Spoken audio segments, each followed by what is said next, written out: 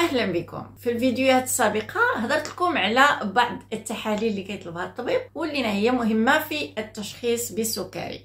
بالنسبة لتحليله ديال الخزان والصائم أنا راني شرحتها في الفيديو السابقة واليوم غادي نطرق واحد التحليل ديال تحمل الجلوكوز يعني glucose tolerance test بالإنجليزية. هاد التحليلة هذه مهمة بزاف وخصوصا للنساء الحوامل. ملي كيمشيو النساء اللي هما ممكن أنهم يكونوا عندهم سكري الحمل. هاد التحليلة هذه بالضبط كيكون مطلوبة باش يعرفوا مدى التحمل ديال الجلوكوز عندهم هاد السيدات. بالنسبة للناس اللي هما عاديين حتى هما كيطلبوا منهم هاد التحليلة. هاد تحمل الجلوكوز شنو هو؟ غادي تمشيو للمختبر وأنتم صائمين.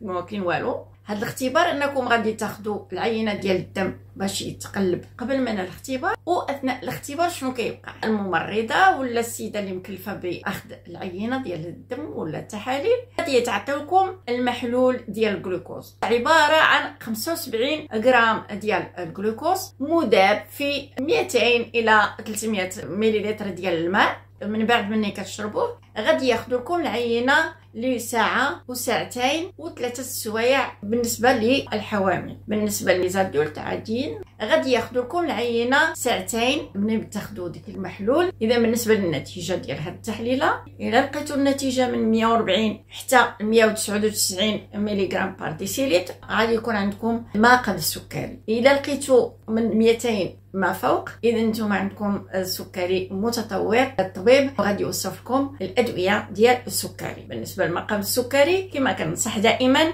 ممكن أنكم تعالجوا فقط بالحمية الصحية قليلة الكربوهيدرات والرياضة المنتظمة. إلى اللقاء في فيديو تثقيفي آخر بإذن الله. كانت معكم مريم حجوج أغا والسلام عليكم ورحمة الله.